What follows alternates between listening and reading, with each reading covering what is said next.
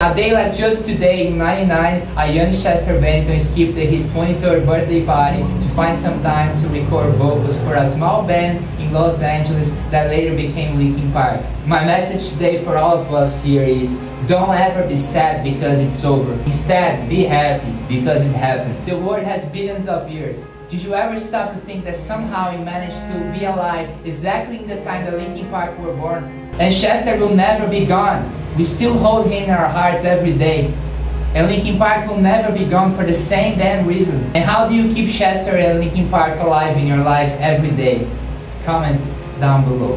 You Somehow may think that I'm forcing all those things to keep Linkin Park and Chester alive, but that's not what this is. If you have something in your life that makes you more motivated, that gives you more energy so you can achieve better things and makes you happier, isn't that worth to have?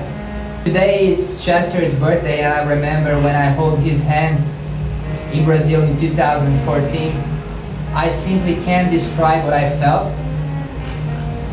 if I could put in a sentence, it would be too good to be true. And I will keep that memory with me along with every memory that I had in my life that I built over my childhoodness with this band and that makes me happy every day. The music is here, the concerts are here, the LPTVs are here, the chance of me learning how to play a brand new song of Linkin Park every day will be here. Released songs that will come, a new tour, who knows? But Linkin Park is here. Chester is here. I hope this message could help you. I know today is a difficult day.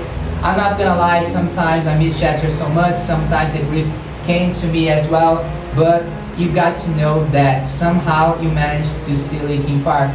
You are lucky enough. Happy birthday, Chester.